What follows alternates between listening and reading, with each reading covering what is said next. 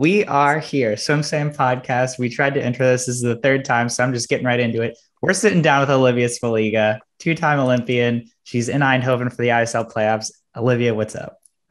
What's up, Coleman? Not much. Yes, we're here in the Netherlands. It's great to be here, and thank you for having me.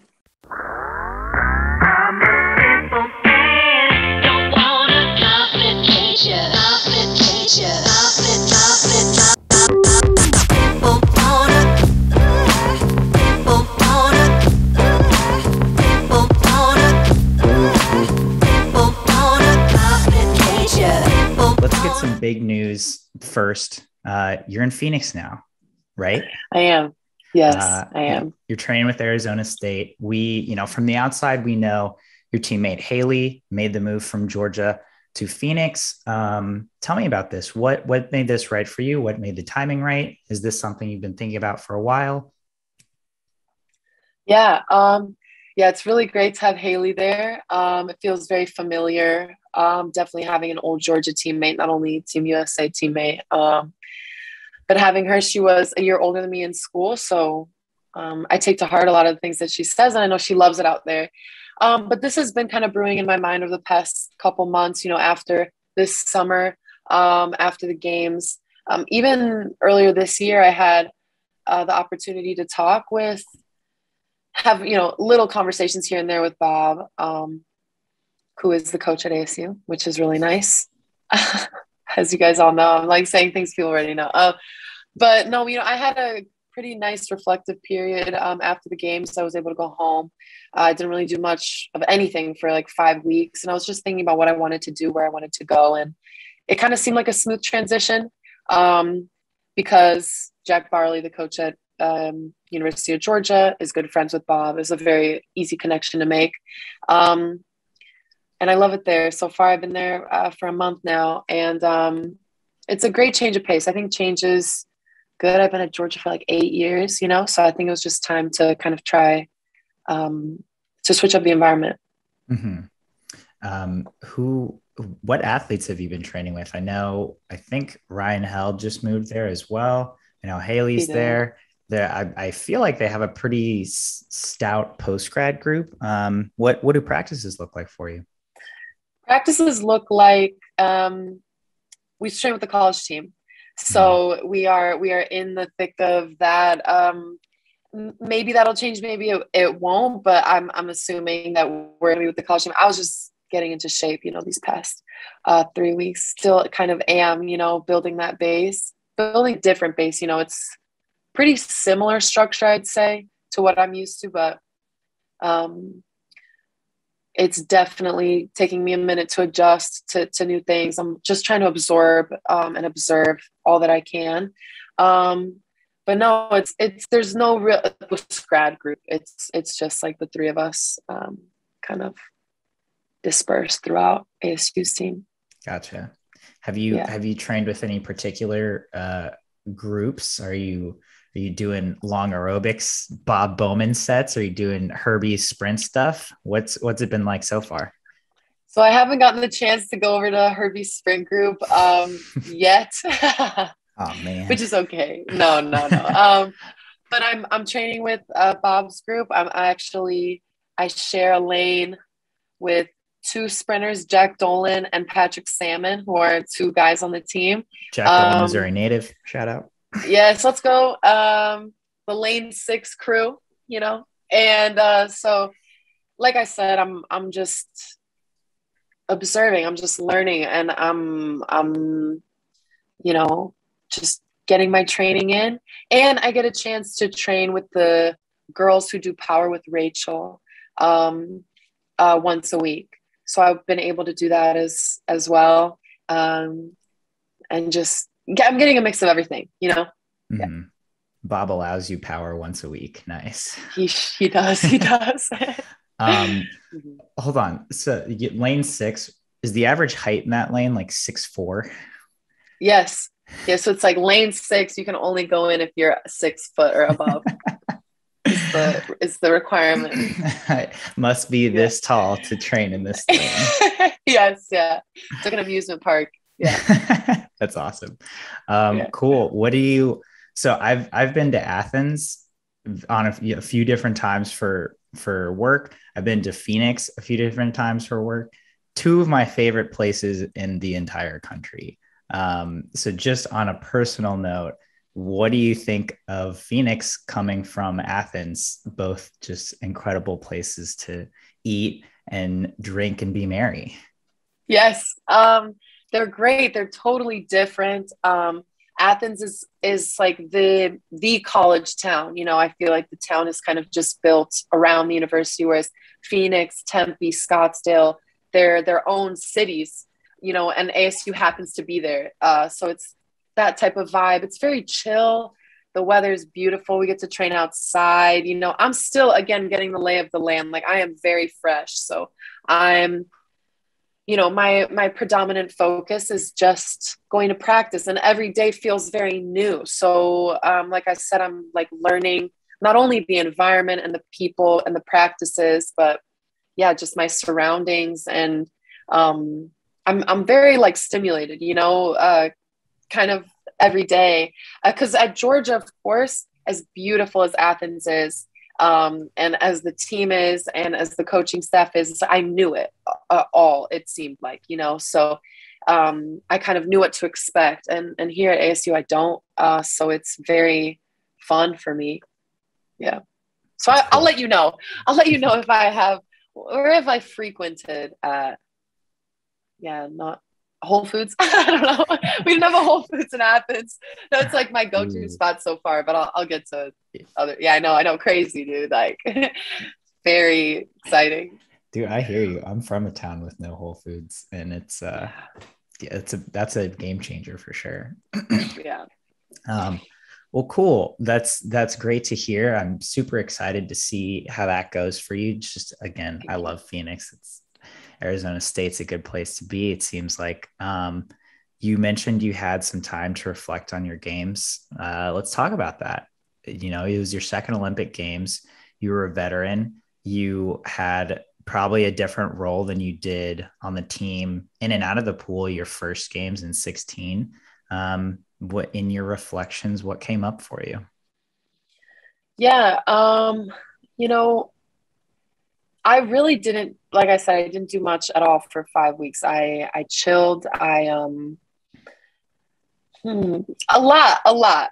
Uh, I reflected on a lot. Um, it, I think it was a, a pretty elongated five years for everyone. I'm no exception to anything. You know, my my everyone's experience is definitely different and individual, but I think it was a different type of break this time around for many athletes than the regular four year cycle. Um, so I think I just needed to take a pause and to just give myself rest.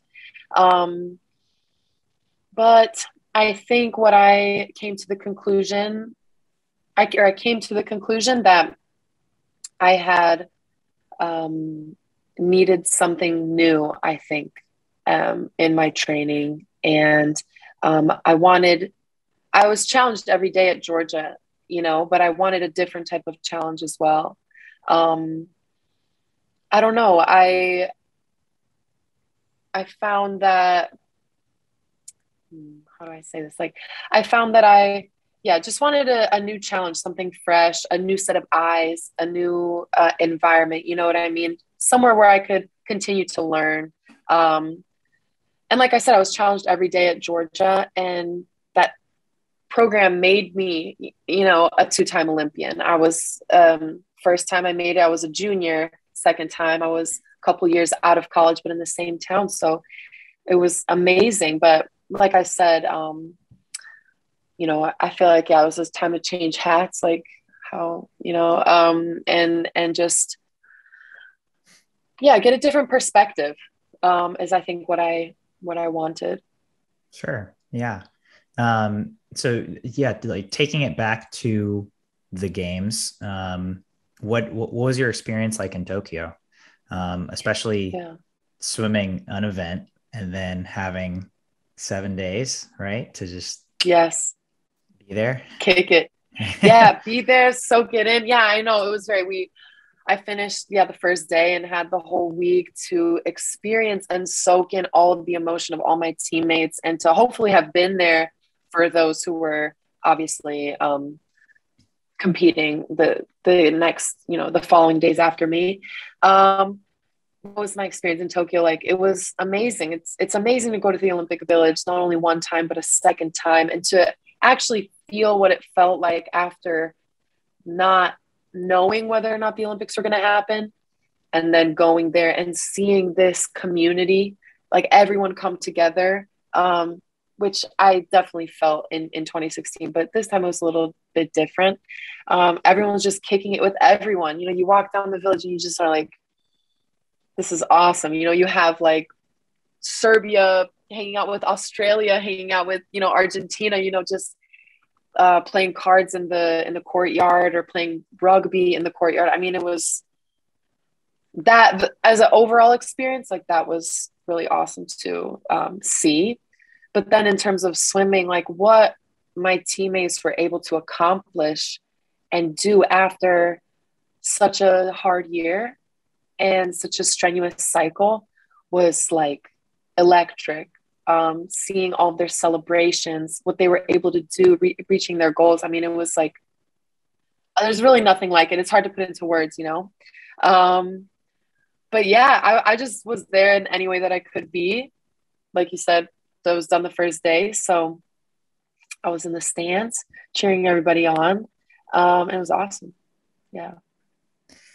Did you have a, a standout moment maybe not you know of something that someone accomplished but of a of an interaction or a connection or or something that sticks out that that you personally were a part of? Hmm. That i personally was a part of? I don't know that i was um personally a part of any hmm.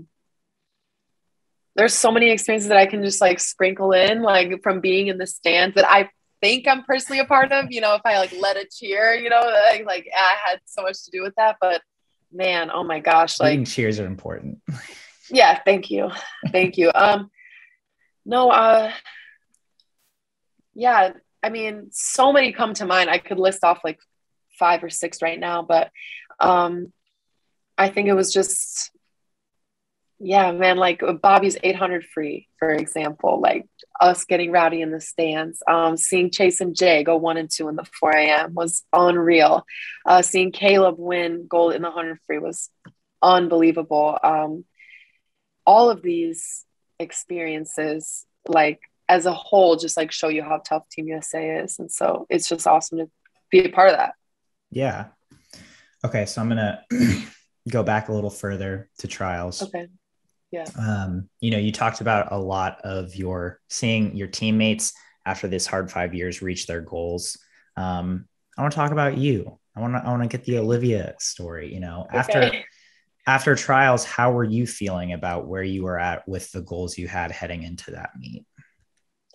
You know, I w- I mm, would lie if I said that I was like super, you know, like I did everything I wanted to do because to be honest with you, trials was pretty tough. I was super happy that they were able to happen because, like I said, you know, we didn't know if trials were going to happen. I think like earlier this year, it was like the Olympics might be canceled and the IOC was having meetings. We're like, damn, we're going to go through this again or something. We had no idea what to expect. We were always on our toes.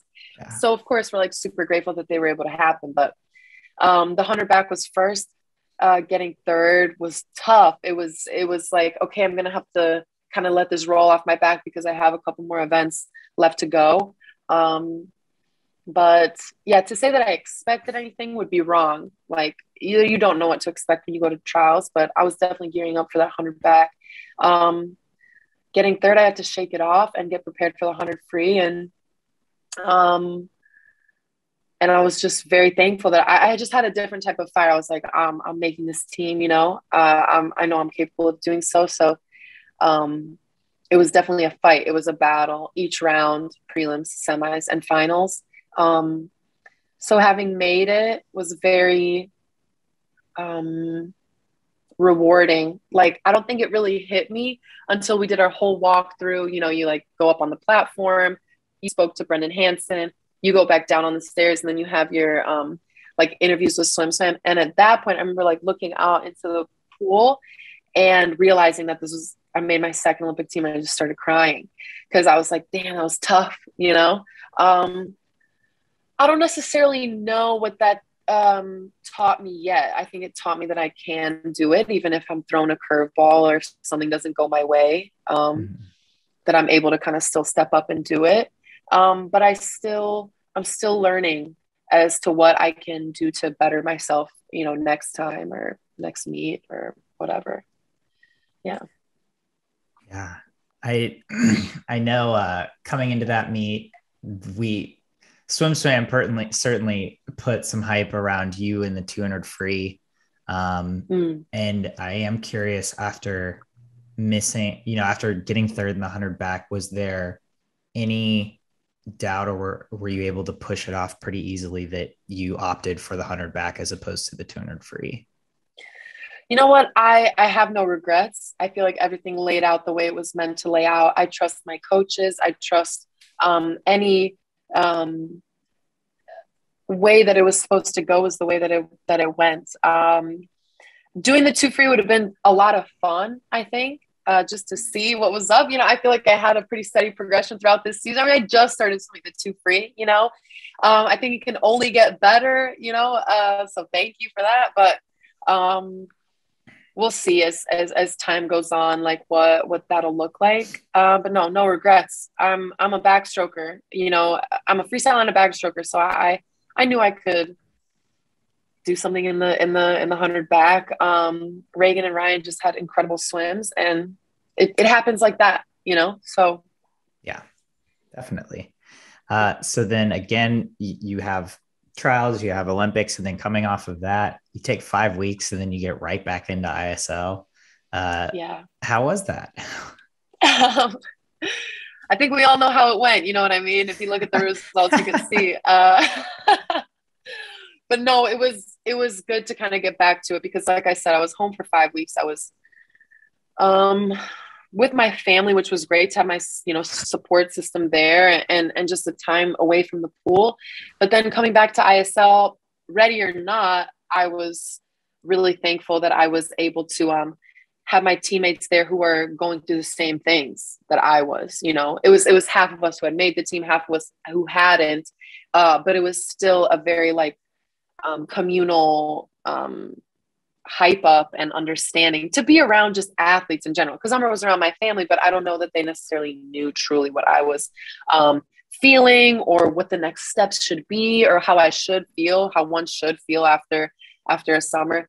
Athlete or not, though, you know, like anyone who went through this whole past year, um, uncertain what's going to happen, having to deal with the challenges that this year presented, and then being like, oh, okay, everything's kind of back to normal. So now we have to, I guess, you know. Um, so everyone I feel like needed that break, but to be around people who are going through the same thing, whatever your group is, wherever your friends are at, you know, um, I think it's important to be around those people. So although the swimming part wasn't there, it was good to be um, because man, I mean, I, I, took five weeks off, and then on that sixth week, I had to travel to ISL. So, um, I was in the pool about a week. I do not recommend that to anyone. Um, um, but it was, I'm so grateful that ISL gave us the opportunity to, to be able to race and to be able to be with our teammates. Um, yeah, the semifinals are definitely going to look different than what the regular season looked like. Yeah. Yeah. Good. That's, that's great. seems good. Yeah. yeah. um, cool. So I don't know if you noticed this, but we mm-hmm. put up a uh, a question option on our Instagram story for this okay. very interview, so that people, so that your fans could ask you some questions. Uh, so we're gonna take some questions. I am, I'm getting a call from my hotel room. Do you think I could answer it really quick? Take your, take your call. thank you. Thank you. Hello. Hi.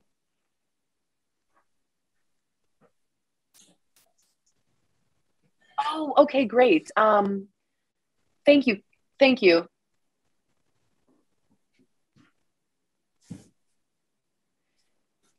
Later would be great. Thank you so much.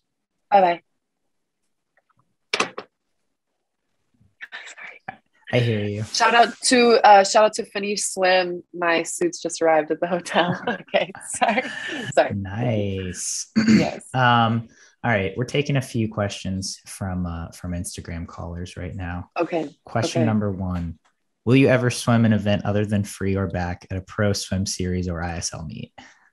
Dang. Um. I don't know. Maybe I do 100 IM at ISL. I feel like that would be the one, right? yeah, that would be the one. I think that would that would be. Uh, what do you think you could go in 100 IM short course meters? I would hope that man, am I too am I cocky to say I would hope to go under hmm, maybe like a minute, maybe 101. My breaststroke, I just don't even know what my breaststroke would be. I think my, my pullout is good, but I, I don't know. I don't know, man. It's like 15 meters after that, I guess. Yeah, what what do pe- what do fast girls go like 57? Yeah. I think I go a minute. I think I go a minute. Yeah, I think you go 59. Okay, thank you, thank you, thank you, thank you. Uh, favorite backstroke drill? Favorite backstroke drill. Um, I love a three right, three left. Um, I love double arm back as a, a loosen down drill. Um, anything to do with your rotation, like shoulder to chin rotation uh, drill is like the best. Okay. Great answer. Favorite food? Any type of burrito, breakfast burrito at the top of the list. Okay. Nice. Oh, did you vote on which shirts you wore wi- during the Olympics? Did we vote on them? No, the schedule was given to us before. it is not a democracy. it is not. not. Um, what do you eat before meets? Do you have any pre-meet food that you stick to? Um, yeah, I think the general staple is oatmeal. So whether it's before prelims or semis or finals, that's like my go-to. Uh, either that or a peanut butter jelly sandwich, something light. A banana always, always, always, always. Key. Key, key, key. is Caleb Dressel the most gifted athlete that has ever existed? Gifted would be the wrong uh, word to use.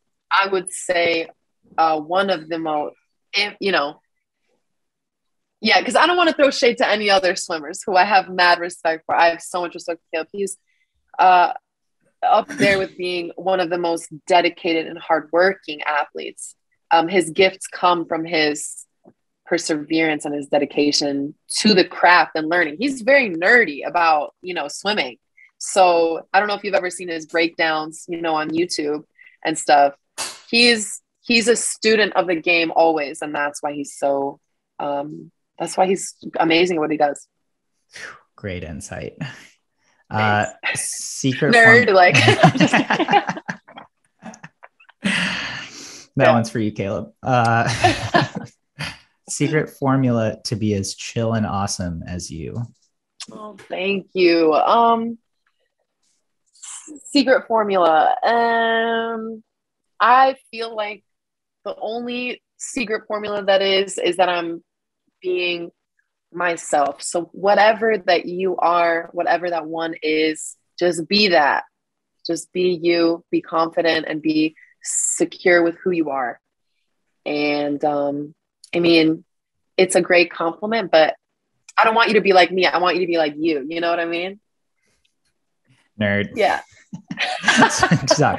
Just kidding. I think that's Yeah, great yeah, yeah. That's that is Thank you. amazing advice. Um, and I don't I don't think you should do it any other way. Anyone. All right. Yeah. We'll we'll wrap with this. We we got about five more minutes. Um, Okay. is the bag eyes emoji secured big eyes face emoji with lock emoji for the upcoming ISL playoffs? um, yeah, it's always on lock when it's the Cali Condors. You know what I'm saying? So we'll see. Um, stay tuned. Tomorrow, our first semifinal match, 1 p.m. Eastern Standard Time. And we're coming fresh out the gates against DC Trident, Energy Standard, and Team Iron. So we'll see. Bada bing, bada boom. So, um, Yep. we, yeah. So give me a little insight as to just how you've felt in the water the last few weeks now that you're kind of getting into rhythm, getting back in shape, and uh, traveling to Eindhoven. You know, how do you get ready these last few days? I know you said you're just singling. So, what are you doing to prep um, for that first match that is tomorrow? Yeah, so I'm just singling today. I've been doing uh, three doubles a week just to make that clear. Okay. um, but no, I yes, we're, we're, I'm prepping. It's it's a lot about how you just said rhythm, feeling the water, being able to actually feel like you have control over the water, um, as opposed to when you're out of shape. I feel like a lot of people can relate to feeling like a noodle when you're in the water and you haven't been in it for a while. So it was a process getting back into it for sure. Um, now that I'm finally, I'm still getting there. Um, I definitely feel better. I feel stronger in the water. Um, I'm I'm ready to see where I'm at at this point in the season um, with what I have done. Like I said, it's been like three weeks plus um, of training, so definitely feeling better and see. So you've gone through this you've gone through a season of ISL before, you've gone through a few, obviously, but what do you feel like you get from these big chunks of racing? You know, you're going to do what three matches in three weeks, I think, something like that. Yeah, something like um, that. Yeah. Oh, and then the play the or the final. Um, mm-hmm. But you know, as opposed to just a block of training where you're training for months at a time with one or two meets sprinkled in, what do you feel like you get um, from these big chunks of racing and do you prefer that? Do you prefer the training? What's the balance for you there? Um, I think the balance is, you know, having this chunk and then going back to work and then having like another meet um, sprinkled in. I mean, it's obviously different than like a tier pro swim series because, like you said, it's three meets in three weeks. Um, people are even coming off of like World Cup and Europeans, so they've been like racing, racing, racing, racing. Everybody's different, um, but what I think the benefit of, of racing like this is, is especially with ISL, we're able to race international competitors, those that we don't get to see until the summer um, or whatever big meets happen, like long course big meets happen. Um, but it also gives you the opportunity to, to, tighten things up and to do your race prep and to do your, um, yeah, like what it feels like when you're when you're competing um, all the routines that you go through to kind of just stay sharp with that. But it's I don't I don't believe that it should be much different than when you race at practice, you know, behind the blocks. You want to get into that mindset and then carry that over into a meet rather than like practicing at a meet and then you know only doing it there. I think it's important to do it at practice too. Um so yeah, it's I think it's a good like power uh type of workout uh, thing, you know, to have three meets so back to back. Um, but it's good training for, I think, like when you have like one week of a meet um, when it comes to like worlds and, and the games and stuff like that. Yeah. yeah. Is there anyone in the ISL field, you know, you mentioned that international competition that really gets your blood pumping when you get to race them? Everybody does. Everybody gets my blood pumping. Uh, all my competitors are amazing. Um, so yeah, I mean, yeah, they're all great. So I'm, I'm, I'm excited to see them again and, and race them all again. Is it a different feel if you get to race, you know, when you're racing women as opposed to when you get to race the men in the mixed events? Yes, mixed medley relay in Naples, bro. Uh, I let off backstroke next to Justin Ress and Guido from London Roar. when I say I was like, okay, you know what? to the first 25, maybe I don't know what I was thinking, dude. Like, oh, maybe you know my underwaters like aren't. what a humbling experience!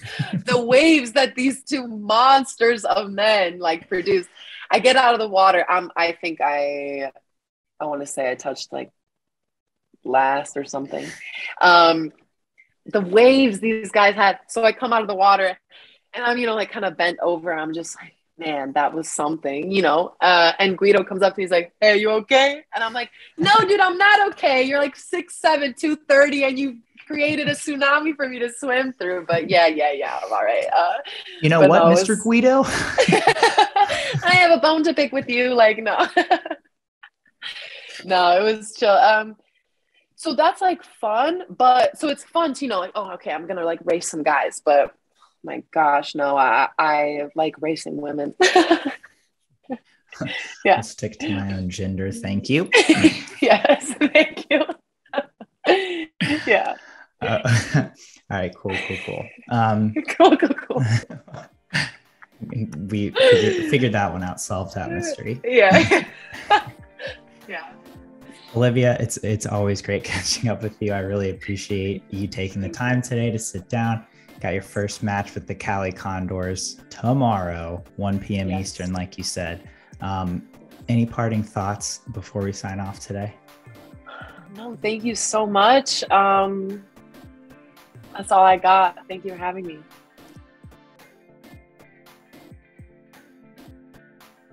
You've been listening to the Swim Swam podcast. Stay tuned for new episodes every week. You can take Swim Swam podcast on the go by subscribing on your favorite podcast platform. Look for links in the description below and be sure to subscribe to our YouTube channel for more videos as well.